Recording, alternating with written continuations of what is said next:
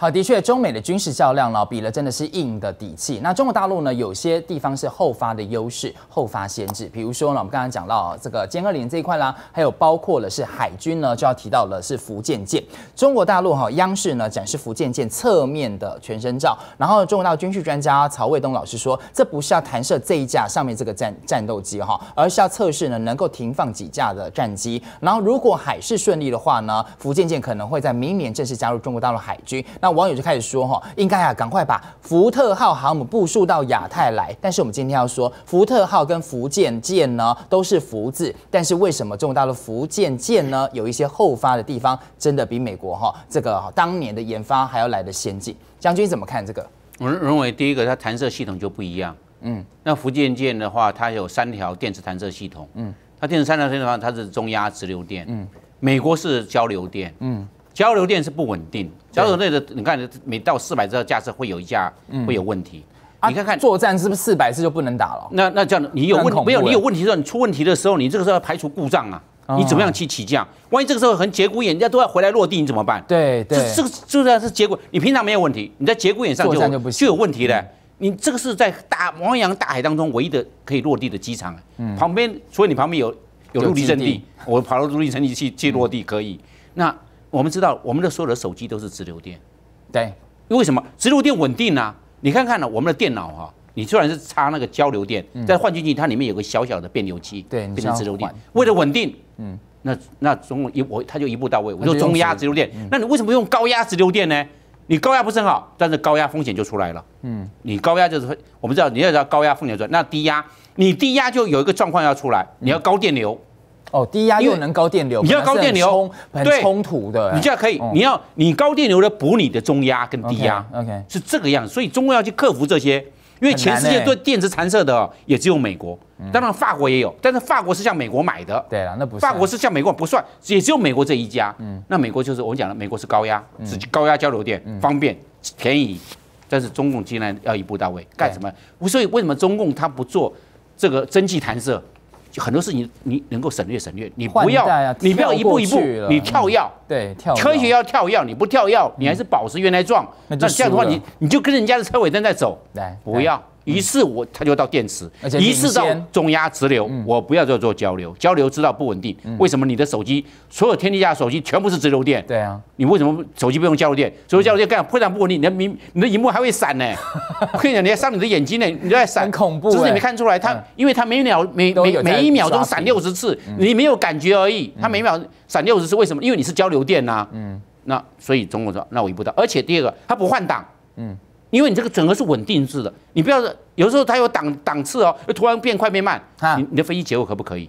嗯，会有这样子的吧？当初的这个蒸汽弹射，除了用水之外，很耗很耗很耗水的啦。它一每次每弹射一架就要将近一公吨的淡水，海水不可以，哦，海水腐蚀性盐分太高了，马上会锈掉。OK，好，那你你用淡水一公吨，然后问题是它那个不是那么稳定，那它出来的力量，出来的力量没有这横竖，它是线性的力量，你要知道啊。中压直论是线性的，我就稳定，就是说，嗯，感觉感觉不出来你这个自自动排档的汽车在排档在变换，我就让你一路这样子很顺，因为一路稳定加速，那这样对飞机好不好？好啊，当然好啊，对啊，对飞机的结构是最最尽到最大的保护，是这个样子。对，那这样子也相对的了，它只要一到达两千次。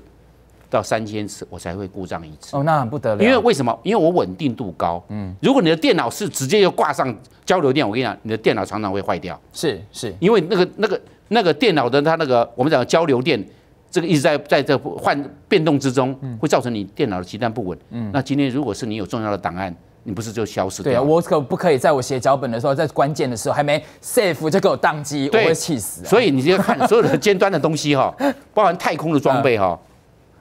都用直流电，对。那中国说，那我干脆我直接用直流直流电，给你直直接一步到位，直流，然后电池弹射，是这个样。好，那他现在已经，我判断他大概明年完成初级作战。对对。那列入列入作战序列。嗯嗯。那那这样的话就要说，明年的可能明年的海军节吧，嗯，也有可能吧，就直接列入作战序列，换叫中共三艘航母就出来了。而且而且电磁弹射放飞快，嗯，电。再再再再那样多，因为它靠这个电池把这二十五公吨的，你它现在在测试的，嗯，你看看它放在那边测试，它那个折叠折叠的折叠的话，让它的甲板上放更多，对，一次可以看看可不可以放到三十六架，是。看看，那其他放在下面的机库，它的甲板上来，那上来之后一次是不是一架？对，这样上来，嗯，因为因为老美如果够大的话，它折叠完毕之后一次可以两架，嗯，那它如果如果这个容量不够，还有它的它的这个这个液压的，它液压推升嘛，液压推升力量不够，那是一次放一架，它都要做测试，因为它从来没有过，这是它第一架，所以它就要要非常的谨慎。你看前阵子不弹射那个东西丢到海里，小红车，对，看看那个小红车，看它看它的这个推力的，它的动量动能要多大，对，没错，然后效果会短，到最后面。它算到这边离开这个速度是多少？但是不要忘了，我们还因为这个将来的千三十，嗯，千三十，千三十五，或者还还要再用千十五，千十五，它的推力它还有本身的推力，嗯，所以你能够把静态的推到这个地方，飞机绝对是没有问题，没错，是这个样子。是，所以呢，哈，中国大陆现在哈一步一步来，但是呢，因为我有后发的优势，我看到你美国的这个哈有。嗯，不好的地方，我就直接怎样，我就跳过了，我不发展蒸汽弹射，我直接中压直流哈，就跳过了你，而且呢比你交流电棒，所以呢，第一点呢，在中压直流的这个电子弹射胜过你美国的福特号。好，那刚刚将军这一针讲的非常的精辟哈，但我补充一下，因为呢，你看到哈，它是用交流电的，它的弹射呢吨位大概是只能二十九吨的大黄蜂，那并不是哈 F 三十五 C 了哈，那反而还是厘米之级才能够带 F 三十五 C，所以呢，之前就被说福。福特号上面呢还被看到是大黄蜂，然后呢，另外再来看到是说什么呢？诶，那中国道不一样哦。第一个哈，领先你的就是我的哈电子弹射不一样。另外还有我舰载机，因为呢你是大黄蜂啊，那我是歼三十五啊加歼十五高低搭配啊，这又可以赢你哈。这第二个赢你，那更别说呢。歼三十五三大优势，我也是比你比较后面发展，但是我追得很快。第一个，我也是双发的哈，可以达到二点五马赫。另外呢，它是一个氮化镓，F 三十五都没氮化镓雷达，我的雷达看得比你还要远，也超越了 F 二十二。F 二十二根本就不可能有氮化镓，你是上上代的事情了。更别说我的空空导弹更强了，霹雳十跟霹雳十五、霹雳幺一这些都可以，长剑十、长剑二零都可以。你看这边又是另外一个优势了。对，这样讲就我们讲到的发动机哦，这个涡闪十九，它的推力是十公吨，嗯，是相当大的，推力是十公吨哦，它的推重比哦是一比十，对，全世界大概推重比最大的大概一比十一，它已经到达一比十了，快要就已经就就已经 on top 了，就已经到尖端去了。那它这个挂两个涡闪十九，对，就二十，快要二十，对，就变成二十公吨的推力，相当大了。然后它另外一个它的这个雷达。那个那个有源的氮化镓，一般来讲的话都是锗化镓。对，那锗化镓氮化镓是高一个锗化镓的，一个一个三代了。对，一个档次。那所以中共都的一步到位，他不要自己，我才不要跟你那边去去绕绕绕绕绕远路，所以它的技术成分就会比较高。啊，那这样子的话，在而且你要注意到它的雷达是占的体积是比较大，为什么？你看它的机它的机手就是机头。机头这个地方。直径一公尺哎，你平常的雷达是渐缩的，小小的，大概大概我现在时候比到就是那么大，嗯，它一公尺的话就那么大，对，那换掉呢，它这个有有源相控阵雷达，对氮化镓的，它的搜索的距离跟搜索的效果会比较好，而且雷达它会经过使用之后哦，会越来越模糊，距离会越来越近，就是对同样距离远距离的目标会越来越看不清楚，OK，要越来越近才看得清楚，是，那这样的话就衰退的非常的快，氮化镓。它衰退的速度慢。哦，都会衰退。就跟你今天手机哦，你刚开始的亮的时候啊，很亮，但是你用了五年了，哎，怎么暗暗黑黑的？为什么？调都调不了？对，为什么你要说你要去这个，把这个这个眼角膜有时候要去动那个手术，嗯，那个屈光手术，哎，看，哟，突然都变得好亮哦，嗯，就是因为因为你我们都在退化中，雷达也是跟眼睛跟人类眼睛一模一样，是是，就是这个样，它会慢慢退化，氮化镓的退化速度。比较慢。比较慢。那面慢相会的，我的保养的周期可以比较长。哦。你本来是五千公五千小时，哎，我要两万小时，一万五五万小时，我再来换是，但是我可以用的更久，是这个样子。嗯，然后另外一个我们可以知道，刚才就是说的那个电池弹电池弹射那个讲到讲到那个那个力大黄蜂。对大黄蜂力不从心的。对啊。那那换句话说，中共克服了一个，因为中共的福建舰是。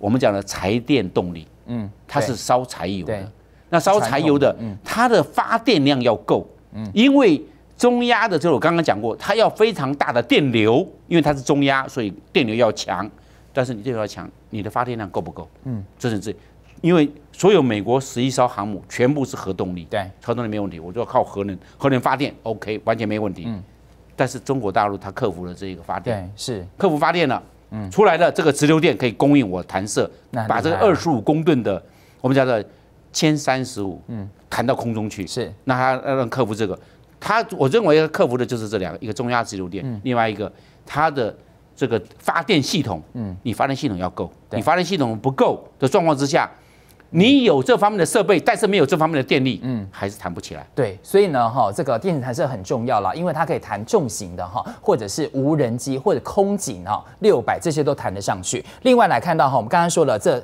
几个呢都是赢他，还有包括什么？中国大陆也要把攻击十一放上去，这个呃福建舰嘛，这个呢放上去哈，这个攻击十一上去，这又是另外一个优点。这个第三个比你呢福特号还要来得强。还有呢，最近讨论度很高的就是福建舰跟福特号它的桅杆呐、一体化桅杆差那么多，这是福建舰，你看这么这么的诶简洁，那代表呢我隐身效果很强，而且我可以把所有的东西呢都集成在里面，我可以抗干扰，我还可以进行搜索等等，都在这里面。那美国的福特号被说是晒衣架吗，你看长这个样子，你要怎么隐形？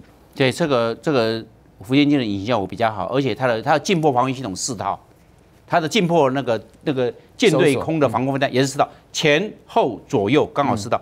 从这边过来的话，舰首跟舰尾还有这一个直接直接打它的我们的近迫防御武器，就是过来的飞弹，嗯，就掠海的飞弹。对那从左边过来的，同样的舰首过来，舰尾过来，还有侧身过来，对着这个左侧的这些近迫防御系统就发威，嗯，是这样子啊。当然，先这个短程的防空飞弹，再来是近迫防御系统。对，但是不要忘了外围还有也有有我们讲那种大区护卫区护卫舰，这或者是我们讲的飞弹驱逐舰舰，还有飞弹护卫舰是这样子的。我现在讲它最后防御是这个样子。对，那那现在你是不是到最后面你要优化？优化是不是会变小？对啊你要注意看，越早的那个舰岛哈，我们叫指挥塔叫舰岛越大。对啊，因为它里面的功能都要，现在不要了，我的很多东西数位化了，嗯。本来那么大，不要我小小的，而且要整合，这整合是有难度的。我小小的、嗯。小小的东西整合在一起，变成小小的。以前的电脑好大一个，以前的手提电脑好大一部哦，嗯。现在手提电脑现在手机那么小，哎，可是这优化。将军，人家这个福特号是美国最新的，最新还是搞出这个哈这样子的啦。因为有时候啊大啊价钱好谈，嗯，美国为什么又要做那个？这个我们讲全球音做那么大，嗯，因为它如果做的小啊，价格怎么那么贵啊？嗯，那如果做那么大，哦，价格那么贵，哦，是这样，嗯，他是做大，美国有时候故意故意要跟你做大的，嗯，为什么？因为好谈价钱呢、嗯，因为今天买一个买一个口红给你，嗯，说这个口红是二十块，你不买，这口红两百哦，哎呦，很好哎、嗯。你你要买两百的，你不买二十的，但是其实两个都是一样的口红，是。你，但是你就说买两百，你但是呢，在作战的时候，不是比大不就比较好了？这个你会被看到，而且呢，美国我读了资料说。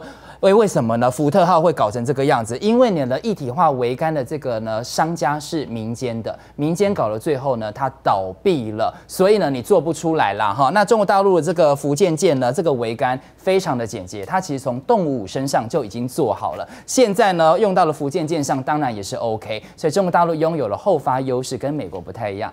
太阳星全效克菲尔益生菌，我吃了两三天，最明显的感觉是睡眠品质竟然变好了。睡得好，让我整个人工作更专注，心情也变得更稳定更好。